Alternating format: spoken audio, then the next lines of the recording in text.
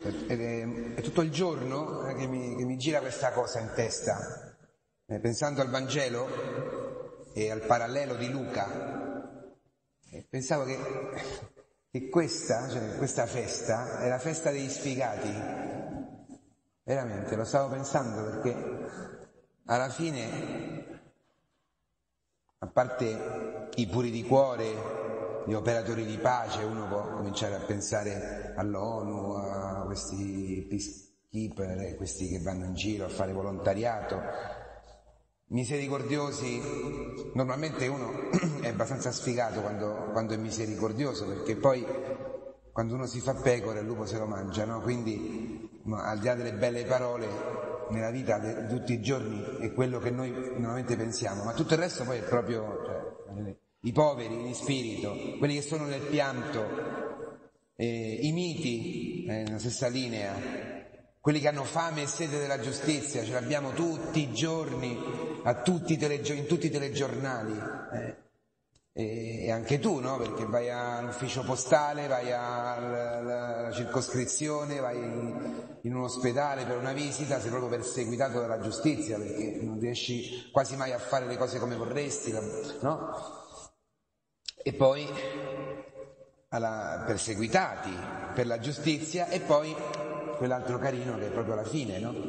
Perché io ogni volta che lo leggo dico ma beati i perseguitati, beati quando vi insulteranno, quando vi perseguiteranno e mentendo diranno ogni sorta di male contro di voi per causa mia. Rallegratevi ed esultate perché è grande la vostra ricompensa nei cieli. Ma io penso a me e penso a tante cose che, che facciamo anche, no? E quello che ci viene spontaneamente dentro. Perché io eh, prendo le parti di un fratello che è perseguitato, che è insultato? Perché, perché, perché lo devo difendere? Perché difendiamo i nostri figli quando sono perseguitati, insultati e quando mentendo gli dicono un sacco di cose male, di quando eh, fanno il bullismo. Perché? Perché io devo eh, prendere le difese di chi è ingiustamente perseguitato? È beato o no? È beato o no?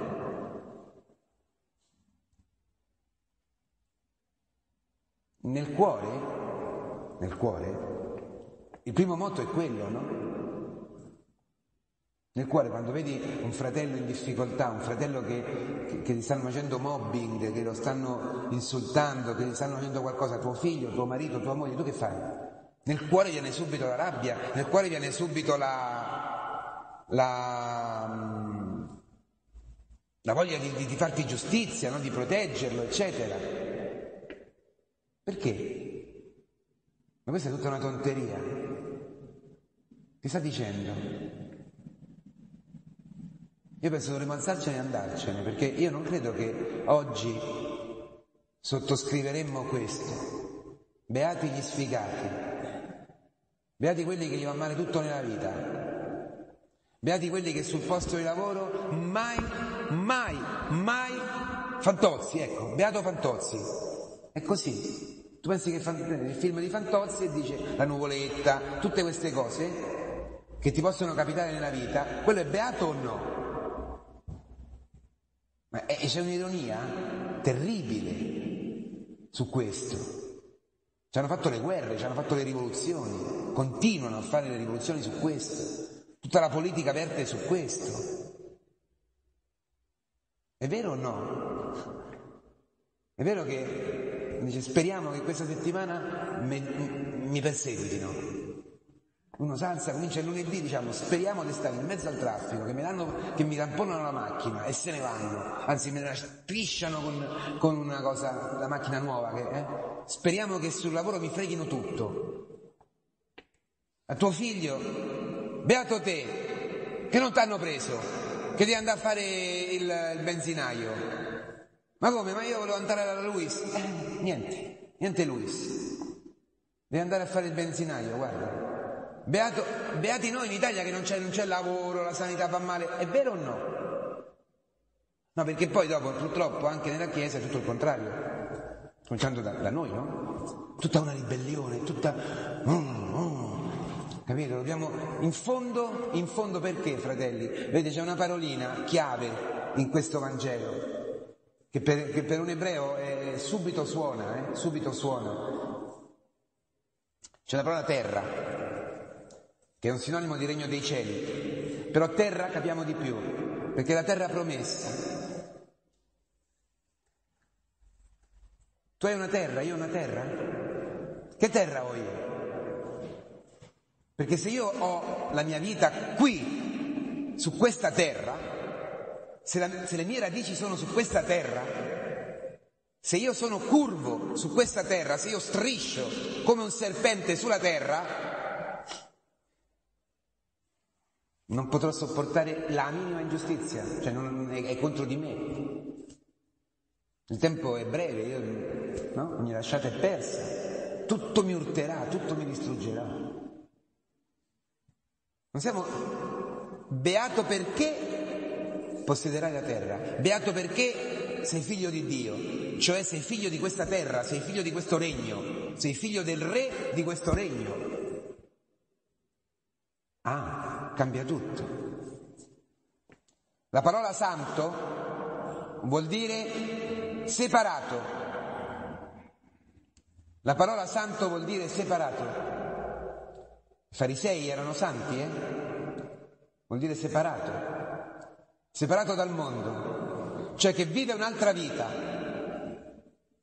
vive la vita di un altro, non è di questo mondo, non ha le radici qui.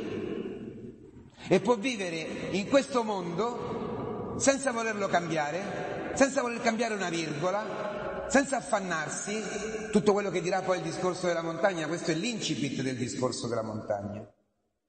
È soltanto la, la, la, la dice, è l'overture. Poi tutto quanto verterà su, questo, su queste beatitudini, la fotografia dell'uomo nuovo, la fotografia del cristiano, la fotografia del santo, è tutto il discorso della montagna. Allora, se ti chiedono i soldi tu non li reclami, se ti rubano, se ti fanno ingiustizia, se, fai, se ti chiedono di fare un miglio tu ne fai due, tu puoi, cioè vivi, un'altra, vivi un'altra cosa, non sei di questo mondo, vivi in questo mondo ma non sei di questo mondo. Vedete che non è niente di morale, non è che io non, non pecco, che io non faccio non cado, non è che io sono eh, col, col, col, collo un po', un po', torto, così parlo tutta bassa voce, sono tutto così, mi siedo all'ultimo banco, faccio... No, tutte queste... non è questo. Se vogliamo non è nemmeno l'onestà, la, la, la probità, la, la, coerenza, la costanza, no, non è nemmeno quello. Quelli sono proprio, gli, proprio gli, i corollari dei corollari dei corollari, cioè di quelli neanche parliamo. È che è tutto il contrario. Io non vivo qui. Per questo la seconda lettura e la prima lettura parlano del cielo.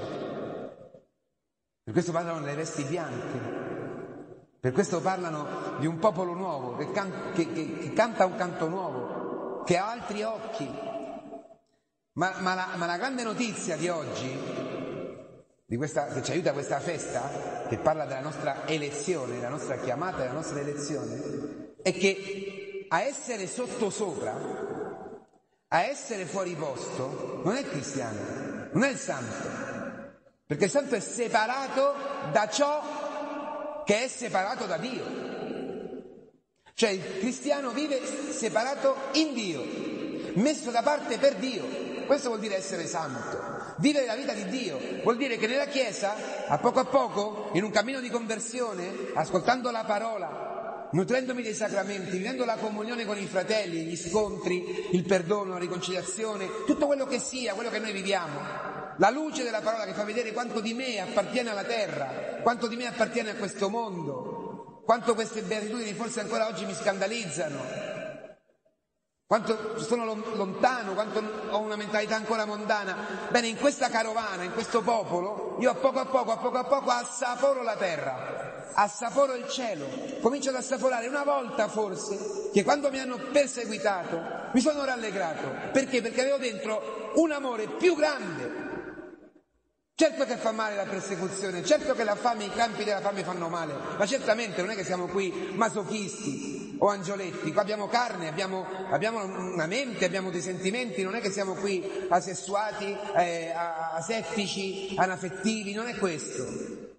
Ma poco a poco, a poco a poco, a poco a poco il Signore ci sta separando dal mondo, perché noi stiamo andando al cielo e siamo stati chiamati a essere capi carovana di tutto il mondo aprire lì un varco, aprire lì un cammino per tutto il mondo, perché tutti gli altri possano dire ma c'è il cielo.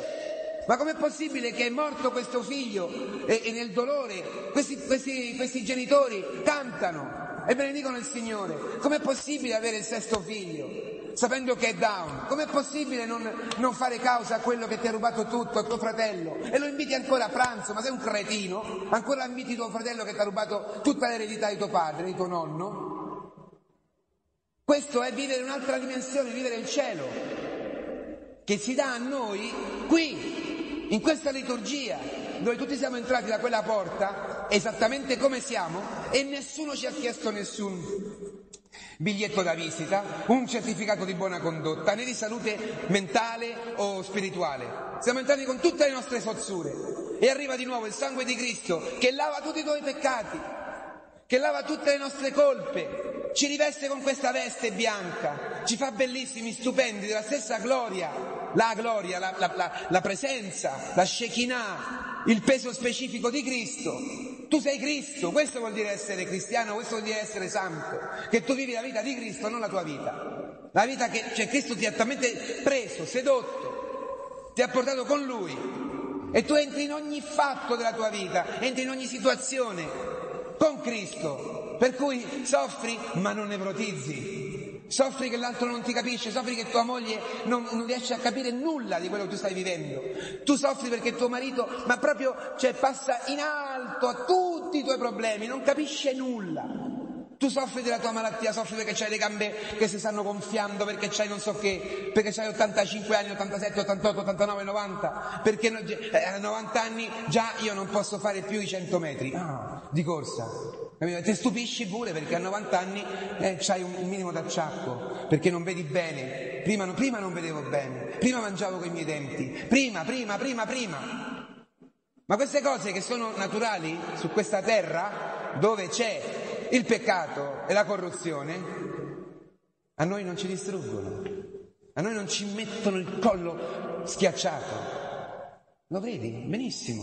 Questo vuol dire purezza di cuore. Eh? Beati i puri di cuore, non è soltanto beati i puri di cuore quelli che a ogni femmina che vedono non gli fanno le lastre e non la vedono, capito, in 3D. No, non è soltanto quello. È molto più profondo. Il puro di cuore è quello che in ogni evento vede il Dio.